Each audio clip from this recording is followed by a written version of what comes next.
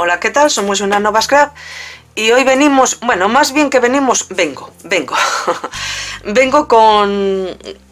para enseñaros una cosita, una cosita que he redescubierto después de un montón de años y que me pareció tan interesante que quiero que, lo veáis vosotros también. O sea que es una cosa más bien mía que, de las dos. Os cuento. Eh, mi madre, mi madre vive, mi madre este mes, eh, el último día del mes, eh, cumple 85 años. Mi madre se llama Josefa.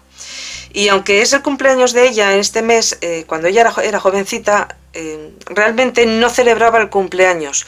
Como se llama Josefa, eh, lo que realmente celebraba era el santo, San José. Entonces era muy típico que se le mandaran tarjetas de felicitación. Y curiosamente no era el cumpleaños lo que se le felicitaba, sino el santo. Bueno, algunas de estas tarjetas, mm, pues me las regaló ella, pero hace un montón de años, cuando yo misma era una cría. Y bueno, eh, ya en aquella época a mí me gustaban mucho estas cosas, por eso me, regaló parte de esas tarjetas. Lo que pasa es que se guardaron en una caja, se, bueno, en un armario, eh, luego me casé, cambiaron de casa, esa caja fue para la parte alta de un armario y pasaron años allí guardadas. Entonces, eh, lo que ha sucedido es que el otro día, pues buscando otra cosa que no tenía nada que ver con esto, me tropecé con la caja. Y, la saqué y saqué las tarjetas y, me di cuenta de una cosa, que las miraba de una manera completamente distinta como yo las miraba cuando tenía pues 15 años. Me di cuenta de que las empecé a mirarlas con los ojos de una scrapera y creo que entendéis lo que os estoy diciendo. Y me encontré con sorpresas, cosas que me hicieron reír, no son muchas, pero son lo suficientemente antiguas, estas tarjetas tienen una media de 60 años y más, como para que me apetezca enseñároslas. Seguramente que vosotros en vuestras casas también, luego me comentaréis, pues también tengo de mi madre, de mi abuela. Eh, bueno, eh, puede ser una cosa muy interesante. Yo os voy a enseñar lo que tengo, lo que tengo aquí. Mirad, em, os voy a enseñar por partes. Esta debía de ser un, tipo de tarjeta muy típica, porque realmente es una fotografía de una mujer muy, muy guapa, eh, con una pose muy, ¿no? Eh, bueno, como muy romántica y demás. Era una foto, tiene mucho gramaje eh, la foto y ya veis cómo, se conserva. Em, algunas están fechadas, otras no, pero todas son de alrededor de, esa edad. 1953. ¿eh? Esta postal tiene 66 años, esta tarjeta, y la recibió cuando mi madre tenía 19. ¿eh? Tiene todo el brillo de, de, ¿eh? de la fotografía, etcétera, etcétera. Os sigo enseñando. Esta.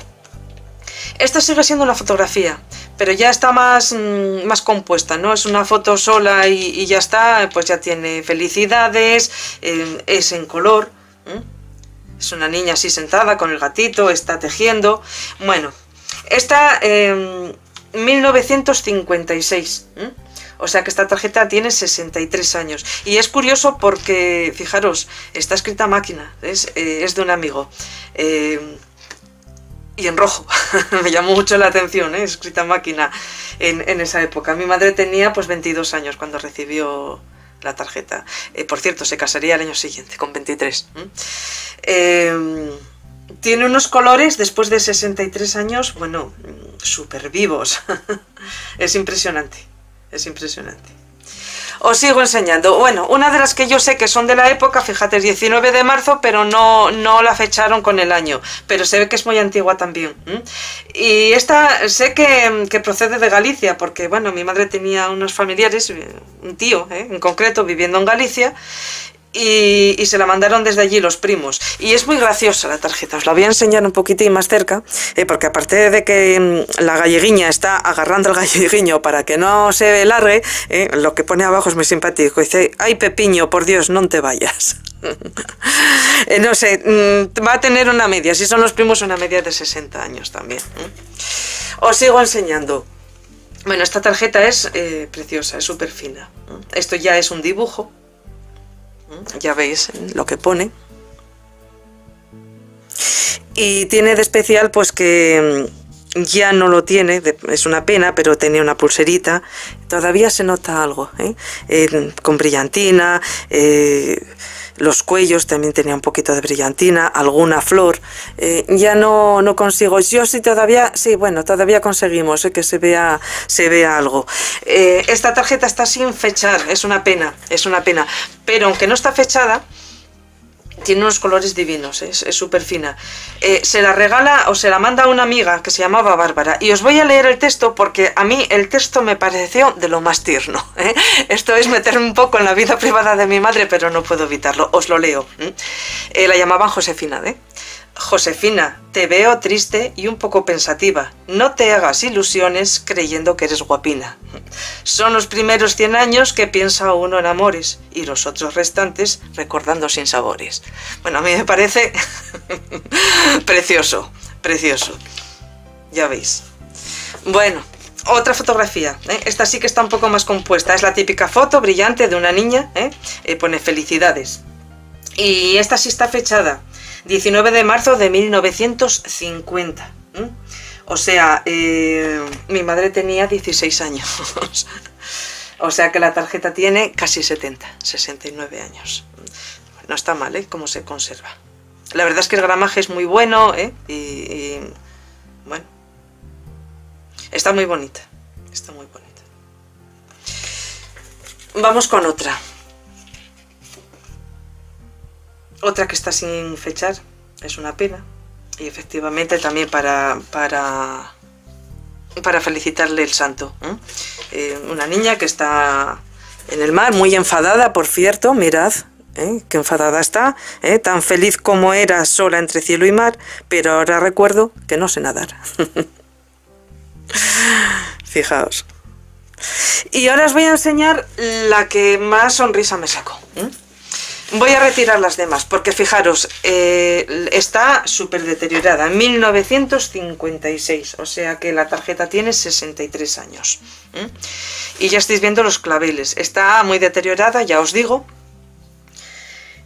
Pero me río, eh, me río porque, porque ahora estamos todas locas, ¿verdad? Con el pop-up y esto que se abre y que hace así y que hace así y que se levanta esto y que se levanta lo otro, vamos a ver, pero de verdad nos creemos nosotras, las scraperas actuales, que hemos inventado el pop-up.